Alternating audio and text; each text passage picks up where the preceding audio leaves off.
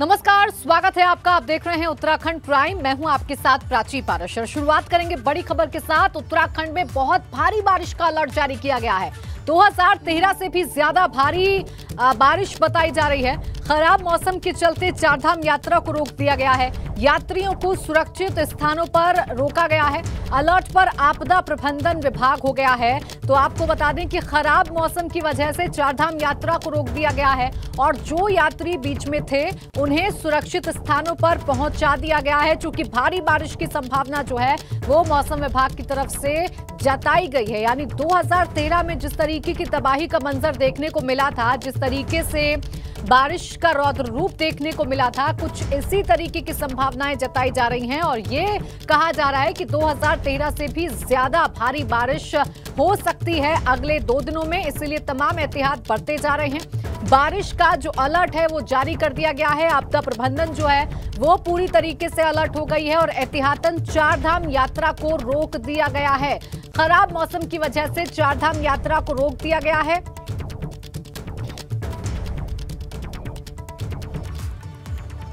मौसम विभाग की चेतावनी के बाद केदारनाथ की यात्रा पर अस्थायी रूप से रोक लगा दी गई है।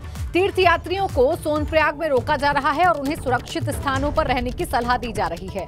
इसके अलावा कई यात्रा पड़ावों पर भी पुलिस और जिला प्रशासन की टीमें तैनात हैं, जो यात्रियों को मौसम की जानकारी दे रही हैं। तो देखिए, किसी भी प्रकार की अनहोनी से बचने के लिए एहतियातन ये कदम उठाए जा रहे हैं। और यात्रियों से अपील की जा रही है कि वो चारधाम यात्रा के लिए ना निकलें। और अगर कोई यात्री निकल भी रहा है तो उसे बीच में ही रोका जा रहा है। सोनप्रयाग में यात्रियों को रोका जा रहा है। हम लोगों ने एक ये निर्णय लिया है कि सोनप्रयाग से, गौरीकुंड से वर्तमान में सुबह से आज सुबह से यात्रा रोक दी गई है।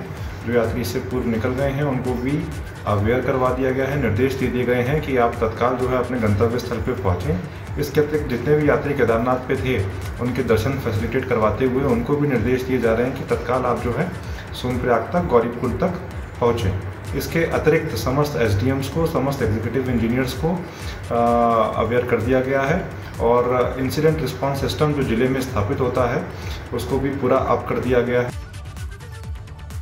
तो खराब मौसम की वजह से केदारनाथ यात्रा को रोका गया है। अस्थाई तौर पर रोका गया है चारधाम यात्रा को, क्योंकि मौसम विभाग की तरफ़ से भारी बारिश की संभावनाएँ अगले दो दिनों के लिए जताई गई हैं और ये संभावनाएँ जताई गई हैं कि 2013 से भी ज़्यादा भारी बारिश इस बार हो सकती है, जिसकी वजह से एहतियातन कदम उठाए जा रहे हैं। यात्रियों से अपील की जा रही है और यात्रियों को सुरक्षित स्थानों पर रोका जा रहा है।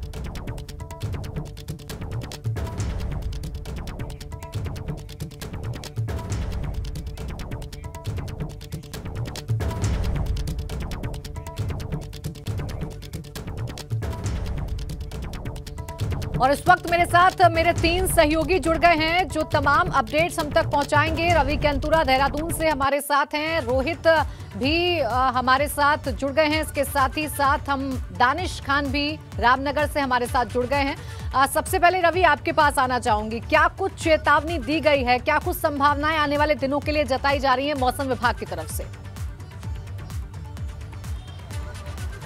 जी प्राची देखिए जैसे कि हमने पहले बताया था कि 17 और 18 तारीख को दो दिन बहुत भारी बारिश का अलर्ट है उत्तराखंड में लेकिन आज अलर्ट को बढ़ा दिया है। अब 19 अक्टूबर तक प्रदेश में रेड अलर्ट जो है मौसम विभाग ने जारी किया है और ऐसे में जो संवेदनशील ज़िले हैं खासतौर पर पिथौरागढ़, नैनीताल, बागेश्वर, चंपावत और टिहरी उत्तरकाशी जिलों की बात करें तो यहाँ के जो अधिक ऊंचाई वाले क्षेत्र हैं, वहाँ पर अत्यंत भारी बारिश की चेतावनी मौसम विभाग ने दी है।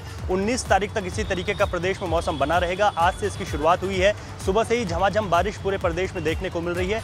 आज देहरादून में भी पूरी बारिश का मौसम रहा। पूरे दिन भर इस वक्त मैं बात करूँ तो बारिश ज़रूर थमी है, लेकिन जो आसपास के क्षेत्र हैं, वहाँ पर भी अभी बारिश हो रही है। तो जो अलर्ट उत्तराखंड में दिया गया है, ये अलर्ट ये बताता है, क्योंकि 11 से 12 दिन अगर हम पिछले देखें तो बिल्कुल चटक धूप थी उत्तराखंड में अचानक से हाई अलर्ट आया है जिस पर विश्वास भी लोगों को नहीं हुआ था लेकिन जिस तरीके से मौसम बदला है और खासतौर पर जो अट्ठारह तारीख है वो उत्तराखंड के लिहाज से बहुत ज़्यादा जो है एहतियात बरतने की आवश्यकता यानी कि कल जो कुमाऊं क्षेत्र है वहाँ पर बहुत ज़्यादा भारी बारिश का अलर्ट मौसम विभाग ने जारी किया है और उसकी शुरुआत आज से हो गई है। तो ऐसे में जिस तरीके से प्रदेश में बिल्कुल रवि देखिए तमाम तो एहतियातन कदम है वो उठाए जा रहे हैं और इस वक्त हम रोहित का भी रुख कर लेते हैं जो रुद्रप्रयाग से हमारे साथ जुड़े हुए हैं मेरे सहयोगी। रोहित फ़िलहाल क्या कुछ तैयारियाँ आप देख रहे हैं? आने वाले चेतावनी को लेकर जिस तरीके की संभावनाएँ जताई गई हैं रेड अलर्ट जारी किया गया है। जैसे कि मौसम विभाग की ओर से दिखाई दे रहा है। आज सुबह थी केदारनाथ यात्रा पे जाने वाले जो तीर्थ यात्री हैं, उनको रोक दिया गया जो यात्री केदारनाथ धाम पहुँच गए थे कल सब्ज़ी बाज़ार आज सुबह जो सात बजे से पहले जो केदारनाथ धाम पहुँच गए थे, उनको भी सुरक्षित तौर पे उनको भी सोनचाग लाया गया है गौरकुंड लाया गया है, जिससे वे भी सुरक्षित रह सके। इसके अलावा पुलिस प्रशासन और जिला प्रशासन की टीमें भी छपे छपे भी यहाँ पर तैनात की गई है। जो तीर्थ यात्री को रहने, खाने की व्यवस्था या वो ये कहना जाना चाहते थे उनको भी जगह जगह पर रोका गया है जिससे वे आसानों पर रहकर रह सके। हम साफ़ तौर पर बताना चाहेंगे कि यहाँ पर जो जिला प्रशासन है, वह काफ़ी सतर्क प्राप्त बढ़ते हुए हैं, क्योंकि यहाँ पे मौसम विभाग का डबल रेड अलर्ट जारी किया गया और खासकर भी यह भी कहा गया है कि 2013 की पुनरावृत्ति यहाँ पर हो सकती है कि जिस समय जून 2013 में आपदा यहाँ पर आई थी जो बरसात यहाँ पर आई थी भारी भयंकर तो वह बरसात भी कल यहाँ पर हो सकती है। तो ऐसी स्थिति को देखते हुए जो है जिलाधिकारी मनोज गोयल एसपी जो पुलिस अधीक्षक हैं वह यहाँ पर काफ़ी यहाँ पर जो है जिला प्रशासन को तैनात किया गया है को तैनात किया गया और कह सकते हैं कि तैनात धाम में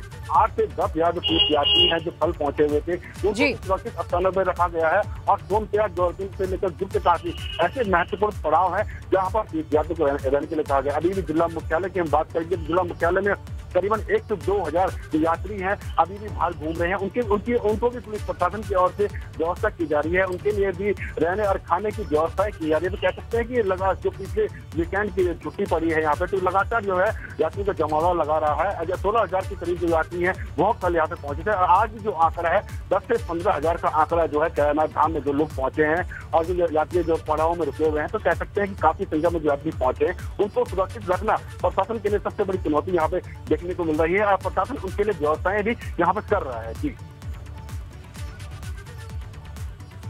बिल्कुल रोहित, और इसी तरीके की जो तैयारी है, वो की गई है। आप बने रहिए हमारे साथ। जानकारी आपसे लेंगे, लेकिन आपको बताएँ कि मुख्यमंत्री पुष्कर सिंह धामी ने भारी बारिश को देखते हुए मुख्य सचिव एस एस संधू से फ़ोन पर प्रदेश की स्थिति की जानकारी ली। मुख्यमंत्री ने निर्देश दिए कि पुलिस, एसडीआरएफ और अन्य संबंधित कार्मिकों को संवेदनशील स्थानों पर हाई अलर्ट रखा जाए। तो देखिए, मौसम विभाग ने रेड अलर्ट जारी किया है, और इसको देखते हुए प्रदेश में तमाम तैयारियों को सुनिश्चित किया जा रहा है, और इसको लेकर मुख्यमंत्री भी गंभीर हैं और इसीलिए उन्होंने बात की है मुख्य सचिव से और मौजूदा हालातों पर चर्चा की है। इसके साथ ही साथ एसडीआरएफ, पुलिस और अन्य संबंधित कार्मिकों को संवेदनशील स्थानों पर हाई अलर्ट रखा जाएगा। इन तमाम बातों के बारे में जो जानकारी है वो सुनिश्चित की गई है। रवि मेरे सहयोगी लगातार बने हुए हैं। रवि, देखिए, जिस तरीके से अलर्ट जारी किया गया है और जिस तरीके से तैयारियाँ की जा रही हैं, मुख्यमंत्री भी काफ़ी संजीदा लग रहे हैं, काफ़ी गंभीर लग रहे हैं। यही वजह है कि तमाम तैयारियों को सुनिश्चित करवाया जा रहा है। निश्चित तौर पर प्राची, देखिए, मुख्यमंत्री की जब एस एस संधु से जो बातचीत हुई है, उस वक्त वो अयोध्या से वहाँ से वापस लौट रहे थे, उससे पहले उन्होंने फ़ोन पर बातचीत की थी। उन्होंने हम्म। मुख्यमंत्री ने ये आशंका जताई है। उन्होंने कहा है कि जिस तरीके से भारी बारिश का अलर्ट जारी किया गया है तो प्रदेश के वो वो, वो क्षेत्र जो संवेदनशील माने जाते हैं आपदा के लिहाज से वहाँ पर पूरी तरीके से एस डी की तैनाती की जाए और तमाम जिलाधिकारियों को अलर्ट पर रहने के निर्देश दिए गए हैं। सभी जिलाधिकारियों को कहा गया है कि अपने फ़ोन 24 आवर जो है खुले रखें किसी भी तरीके से कोई लापरवाही न हो और कोई हादसा होता है आपदा जैसी स्थिति बनती है तो वहाँ पर तुरंत रेस्क्यू किया जाए और जो रिस्पॉन्स टाइम है वो कम से कम हो। तो ऐसे में तमाम चीज़ें हैं जिनको अपडेट कर दिया गया है। अस्पतालों को अपडेट कर दिया गया है। इसके साथ ही एनडीआरएफ, एसडीआरएफ और जो लोकल पुलिस प्रशासन है, उनको भी जो है पूरी तरीके से अलर्ट पर रखा गया है। जिस तरीके से हमारे सहयोगी अभी रोहित बता रहे थे कि जब केदारनाथ जी जो आज श्रद्धालु गए थे उनको फटाफट मंदिर से जो है वापस भेजा गया। वहाँ पर अब जो अस्थायी रोक लगा दी इसी के साथ ही अगर हम बात करें तो गंगोत्री यमुनोत्री की जो यात्रा है उसको भी अगले दो से तीन दिन तक अस्थायी रूप से रोक लिया गया है ताकि किसी तरीके की कोई सिचुएशन बनती है। तो रवि और देखिए ज़रूरी है क्योंकि मौसम विभाग ने अलर्ट जारी किया है और ये रेड अलर्ट है। इसकी गंभीरता को समझा जा सकता है। बने रहिए आप हमारे साथ। लगातार आपसे जानकारी हम लेते रहेंगे अपडेट्स हम लेते रहेंगे। इस बीच अपने दर्शकों को दो तस्वीरें हम यहाँ पर दिखाना चाहेंगे, क्योंकि मौसम देखिए किस तरीके से बदल रहा है। रुद्रप्रयाग और हल्द्वानी की ये जो तस्वीरें हैं, रुद्रपुर और हल्द्वानी की तस्वीरें आपके सामने हैं। झमाझम बारिश हो रही है, मौसम में पूरी तरीके से तब्दीली आ चुकी है और ये इस तरफ़ इशारा कर रहा है कि मौसम विभाग ने जो चेतावनी जारी की है, कहीं ना कहीं मौसम उस हिसाब से जो है, वो बदल रहा है। अब आने वाले कुछ दिन जो है, वो उत्तराखंड के लिहाज से भारी रह सकते हैं, क्योंकि भारी बारिश हो सकती है। और सीधा रामनगर का रुख कर लेंगे मेरे सहयोगी दानिश, वहाँ से हमारे साथ बने हुए हैं। दानिश, देखिए, मौसम उत्तराखंड में बदल रहा है, खासकर पहाड़ी इलाकों की बात करें तो वहाँ पर ज़्यादा खतरा जताया जा रहा है। रामनगर की क्या स्थिति है? किस तरीके का मौसम देखने को मिल रहा है और क्या तैयारी है प्रशासन की? बिल्कुल, देखिए प्राची मैं आपको बता दूँ, प्रशासन पूरी तरह से अलर्ट है। इस वक्त हम खड़े हैं रामनगर के कोसी बैराज पे। ये वही नदी है जिसने 2013 में न केवल उत्तराखंड में बल्कि उत्तर प्रदेश में भी तबाही मचाई थी। हम उसी जगह पर मौजूद हैं जहाँ से सायरन बजा करके उत्तर प्रदेश को भी अलर्ट किया जाता है। ये अलर्ट सेंटर है उत्तराखंड का। यहाँ से यूपी के लिए आ, अलर्ट जारी किया जाता है और लगातार यहाँ पर कोसी नदी में जिस तरह से पानी बढ़ता जा रहा है मेरे पीछे कोसी नदी है उसमें 2013 के वो निशान भी मौजूद हैं जहाँ पर 2013 में आपदा आई थी तो इस नदी ने अपना रौद्र रूप अपनाया था। वहीं बात करें प्रशासन की तो मैं दिखाना चाहूँगा आपको, प्रशासन ने पुलिस की तैनाती इस जगह पर कर दी है।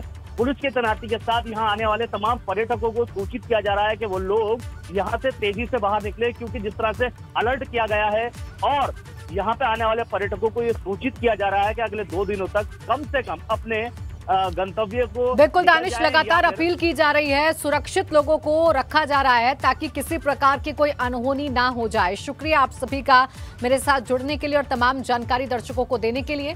तो खराब मौसम की वजह से बद्रीनाथ धाम की यात्रा भी रोक दी गई है। तीर्थ यात्रियों को पांडुकेश्वर जोशीमठ में सुरक्षित स्थानों पर रुकने की सलाह दी गई है।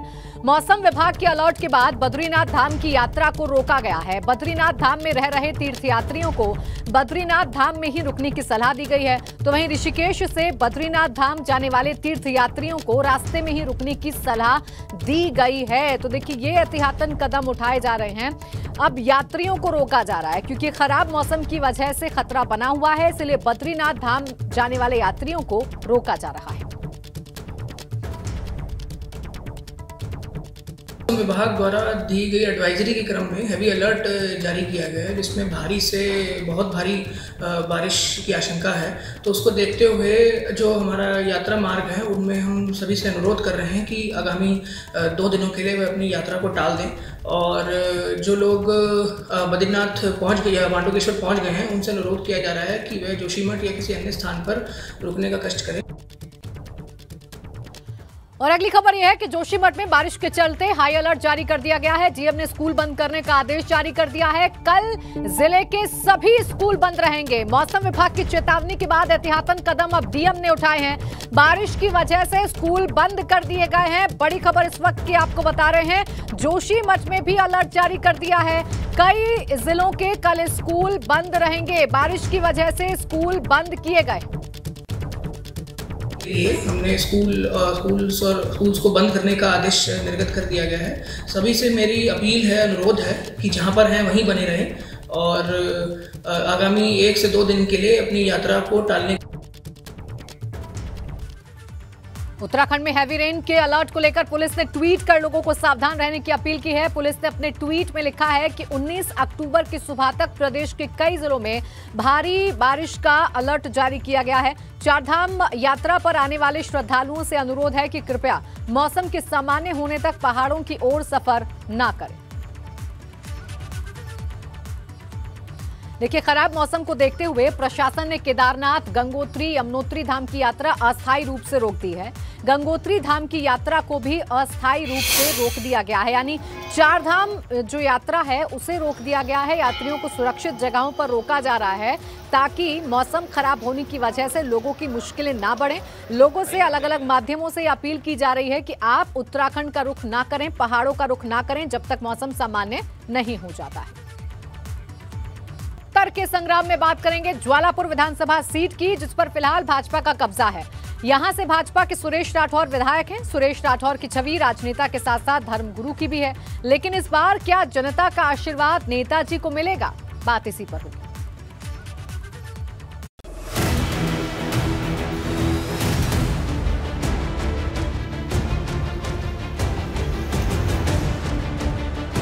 हरिद्वार के ज्वालापुर विधानसभा पर मौजूदा समय में भाजपा का कब्जा। है यहाँ से सुरेश राठौर विधायक ज्वालापुर विधानसभा 2012 में अस्तित्व में आई थी। 2017 के चुनाव में सुरेश राठौर भाजपा के टिकट पर चुनाव जीतकर विधानसभा पहुँचे थे। सुरेश राठौर को लगता है कि उन्होंने अपने विधानसभा क्षेत्र में विकास के काफ़ी काम करवाए हैं, इसलिए क्षेत्र की जनता इस बार भी उनका ही साथ देगी। बहुत सारे सड़कों की जाल हमने बिछाने का काम किया चिकित्सा के क्षेत्र में हो, फॉरेस्ट के क्षेत्र में हो जंगली जानवर परेशान करते थे, उनके लिए हमने तार बाड़ लगवाने का काम किया। जिन वन क्षेत्र के गाँव में विकास की दृष्टि से काम नहीं हो रहे थे, वहाँ पर हैंडपम्प लगाकर सड़कें बनाने का काम हमने किया। तो इस तरह की बहुत सारी योजनाएँ। खेड़ी सिकोपुर एक गाँव है, वहाँ पर हमने कब्रिस्तान की दीवार के लिए पचास लाख रुपए दिया। सुरेश राठौर की छवि राजनेता के साथ साथ धर्मगुरु की भी है। वे रविदास कथाओं का आयोजन भी करते हैं। 2017 के चुनाव में भले ही जनता ने सुरेश राठौर पर भरोसा जताया मगर इस बार सियासी समीकरण बदल चुके हैं। तो वहीं विधायक का नाम विवादों में रहने की वजह से इस बार उनकी जीत की राह मुश्किल हो सकती है। एबीपी गंगा के लिए ज्वालापुर से रोहित सिखौला की रिपोर्ट। विधायक सुरेश राठौर अपने विधानसभा क्षेत्र में विकास का दावा कर रहे हैं लेकिन विपक्ष उनके दावों पर सवाल उठा रहा है।